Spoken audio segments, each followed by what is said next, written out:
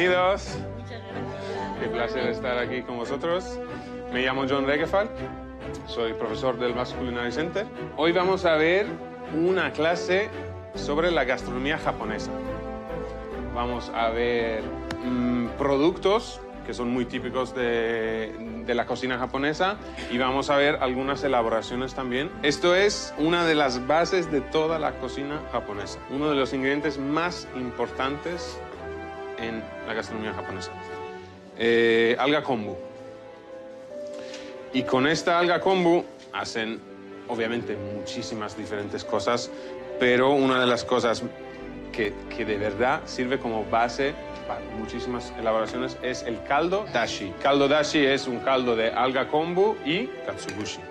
Son copos de un atún fermentado, un bonito, fermentado y secado. La salsa de soja ya conocéis todos, eh, lo habéis probado con el sushi o en muchas otras elaboraciones. Esta es una plantita que se llama shiso, que se usa muchísimo también en Japón. Tiene unas matices que recuerda un poco menta, albahaca, un poco una mezcla así, ¿no? Es muy, muy aromática también.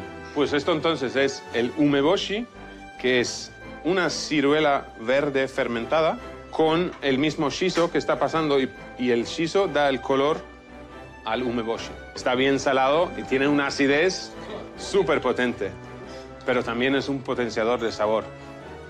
Yuzu, un cítrico japonés con un aroma bastante, bastante diferente de un cítrico de aquí. Cuando vamos a, a cocinar un arroz japonés, lo más, más importante es que se, que se lava bien el arroz antes de empezar a cocinar. Se lava hasta que el agua está totalmente, cristalina, transparente, y después se, deja remojar en agua fría 30 minutos. Eso es la clave para cocinar un buen arroz japonés.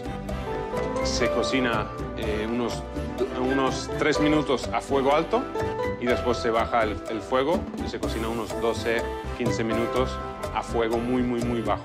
Después lo, lo, dejamos reposar un poco y la preparación después para hacer el arroz de sushi, escoger este arroz que no tiene ningún sabor y vamos a echar el aliño, que el aliño aquí es la clave del sabor del, sushi.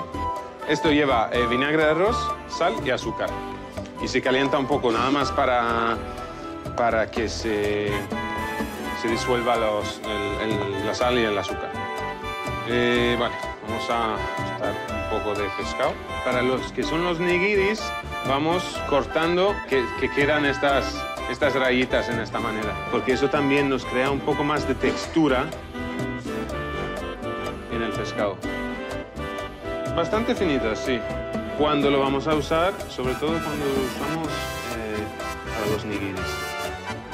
Si es para sashimi, por ejemplo, ya son más, ya serían más gorditas. El sashimi ya es, ya son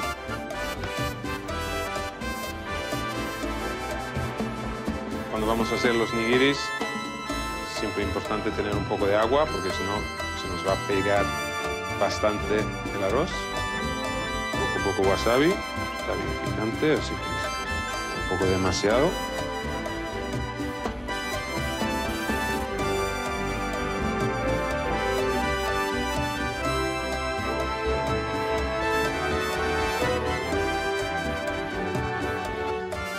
Nori siempre tiene un lado que es más brillante del otro. Y ese lado, abajo, para que se vea, para que sea el, el externo. Esto ya se hidrata con, el, con la, hume- la humedad que tiene el arroz, ya se, ya se hidrata solo.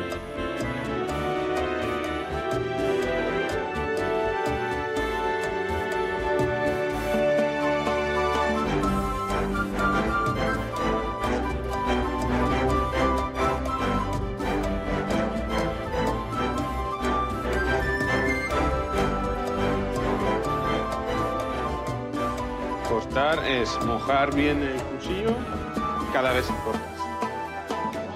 Con agua, agua, agua normal, fría. Listo. Eh, ¿Qué tal?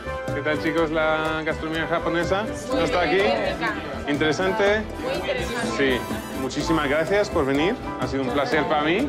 Espero que habéis aprendido algo. Muchas gracias.